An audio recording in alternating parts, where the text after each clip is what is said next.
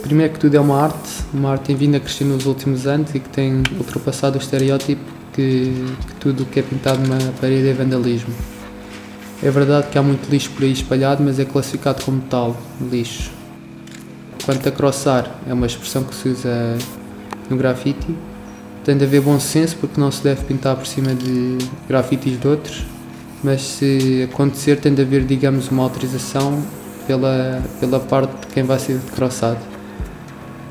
Eu crosso muitas das vezes, não só os meus como de outros, mas peço essa tal autorização para não haver guerras e confusões. O grafite para mim é uma paixão, um hobby, um escape, uma forma de eu aliviar o stress.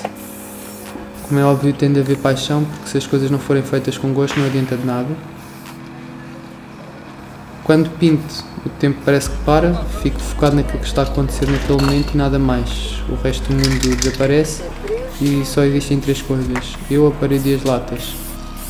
Depois é só deixar fluir e deixar que tudo aconteça naturalmente. As formas abstratas vão começando a ganhar parecências e no final a obra está feita. Dito assim, até parece um bocado fácil, mas não é. Uh, leva o seu tempo a aperfeiçoar a técnica e muitas idas à parede. Mas no final o resultado compensa sempre muito. Olhar para o, para o grafite que fizeste, dedicaste tanto tempo e esforço e vês que ficou como querias ou melhor, uma sensação muito boa mesmo. E quando o feedback é positivo, ainda melhor.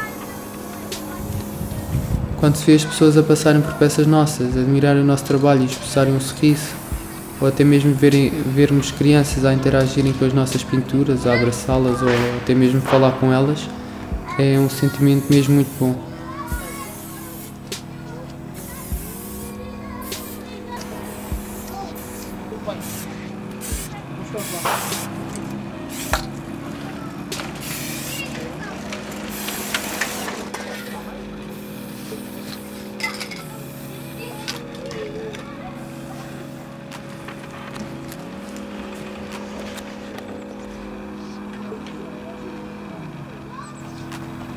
Gonçalo Diogo, Saga Grafiter.